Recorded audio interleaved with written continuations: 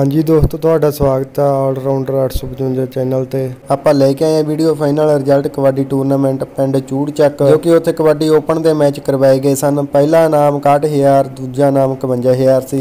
Best raider ਤੇ best ਜਾਫੀ ਨੂੰ ਮੋਟਰਸਾਈਕਲ ਸਨ। ਬਾਕੀ ਦੀ ਜਾਣਕਾਰੀ ਆਪਾਂ ਅੱਗੇ ਦਿੰਨੇ ਆਂਗੇ। ਜੇ ਤੁਸੀਂ ਅਸੀਂ ਚੈਨਲ ਤੇ ਨਵੇਂ ਆ ਤਾਂ ਚੈਨਲ ਨੂੰ ਸਬਸਕ੍ਰਾਈਬ ਕਰ ਲਓ। ਆਜੋ ਕਰਦੇ ਹਾਂ ਵੀਡੀਓ ਸਟਾਰਟ ਥਾਪੀ ਸੱਚੇ ਪਾਤਸ਼ਾਹ ਵਾਹਿਗੁਰੂ ਮਰਵਾਉਂਦਾ।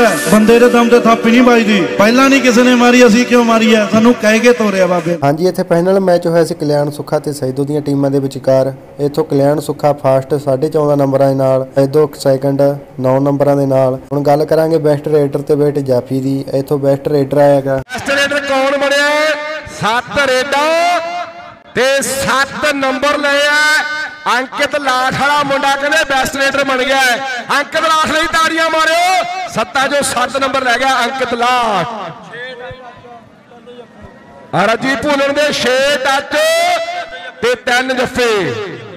ਰਜੀ ਭੂਲਣ ਬੈਸਟ ਜਾਫੀ ਰਜੀ ਨੇ ਵੀ ਤਾੜੀਆਂ ਮਾਰ ਜ਼ੋਰਦਾਰ। ਹਾਂਜੀ, ਸੀਲੂ ਦੇ 10 ਟੱਚ ਤੇ 3 ਜੱਫੇ ਸੀਗੇ। ਜ਼ਿਆਦਾ ਟੱਚਾਂ ਦੇ ਕਾਰਨ ਸੀਲੂ ਬੈਸਟ ਜਾਫੀ ਨਹੀਂ ਬਣ ਸਕਿਆ। ਜੇ ਤੁਹਾਨੂੰ ਵੀਡੀਓ ਚੰਗੀ ਲੱਗੀ ਤਾਂ ਵੀਡੀਓ ਨੂੰ ਲਾਈਕ ਤੇ ਸ਼ੇਅਰ ਕਰਨਾ। ਮਿਲਦੇ ਕਿਸੇ ਨਵੀਂ ਵੀਡੀਓ ਦੇ ਨਾਲ। ਧੰਨਵਾਦ ਜੀ।